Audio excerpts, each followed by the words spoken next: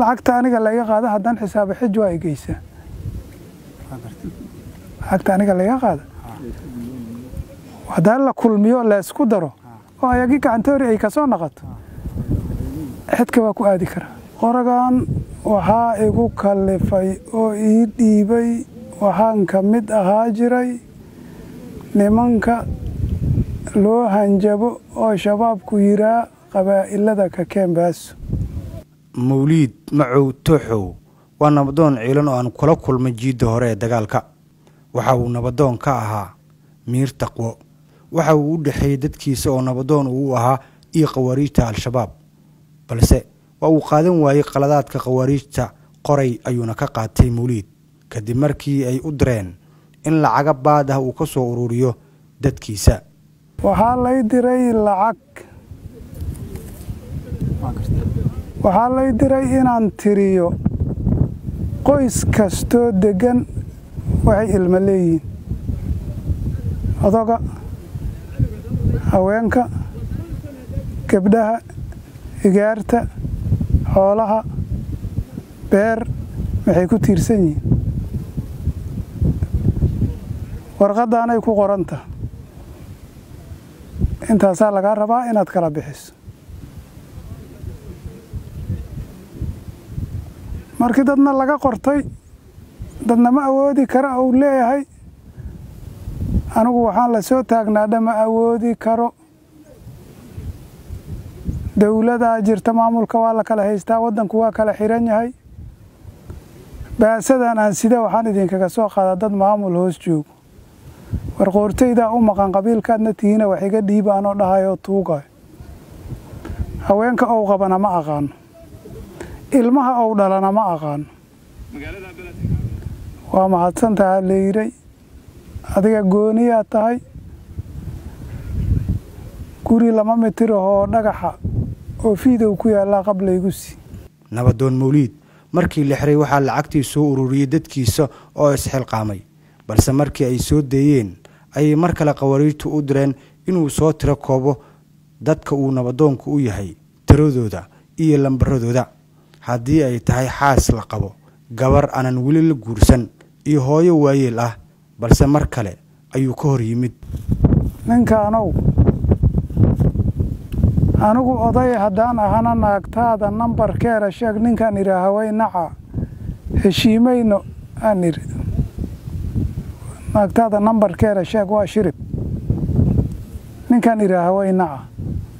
Naagtaada nambarkeera sheeg nin jecel. Ii ka laftoora i su'aala naaga naagtaad qabta nambarkeera sheeg haddaan idhaha ma si kale ii damooha ma awoodi karaa nin ila dhashaa xamar joogo ilmo u dhalay?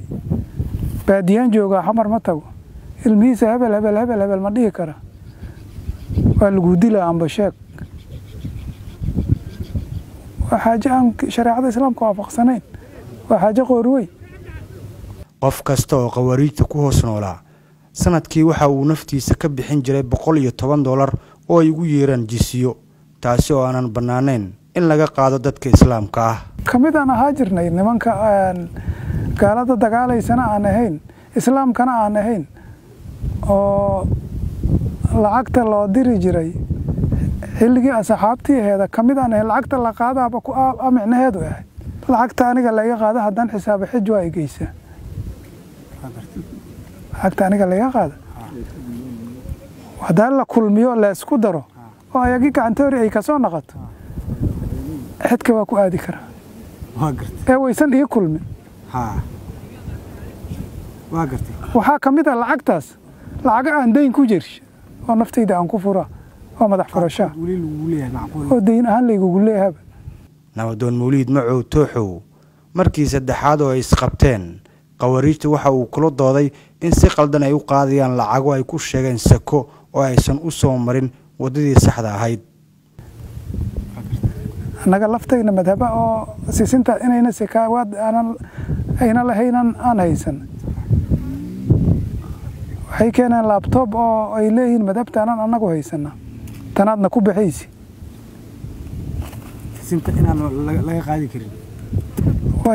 inaan diidnaa timiday sisintaas sikamale aan dhahno laabtoobay noo keeneen. Madhabtaanaan annagu haysanaaha yidhi. Tanaana ku dhaqmaynaa tiinu baadil waaya maahanoy haa ya.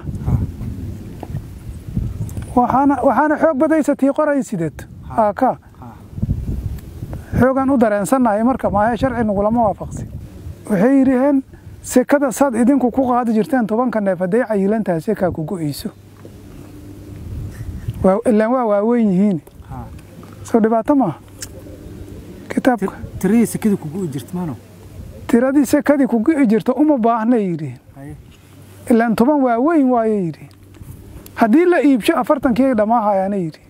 Haa neefkiiba ne- neefku hadduu cayilan yahay saddex neef u dhigmay saddex neef u dhigan yahay yidhi ku bixi maa oo shareecadu ma qabtana amaad dhihi kartaa?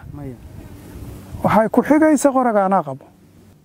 Mawliid macow tooxow markii ugu dambeysay oo khawariijtu uu qoriga u qaatay waxay u direen inuu soo xalliyo. Gabar aanan weli guursan oo ay ku kuufsadeen saddex ka mid ah khawaariijta waxaa ka mida oo aan jawaab ka bixi weynay nagalana sii waayey inaan soo aragno annagoo nabadoona kufsi gibir la watay ee xafiiska hore gashay. Markay xafiiska hore gashay rag dhallinyaro ahaa watanimayaw idinkaana mas'uuliyiintii ay jawaab naga siiyaan dhahna waxaas waa dhaceen laakiin cafallaahu yayna yidhi. Cafallaahu. Adiga uun wax kastoo dhaco xun iska cafi. Waxaa lagu xalliyey ummadda muslimiinta u baahneeday waay adiga xanaagi ma kartid muslimiintay j- tageen akhyaarti ma tihiin nabadoonnadi ma tihiin. Cafallaahu dhaha.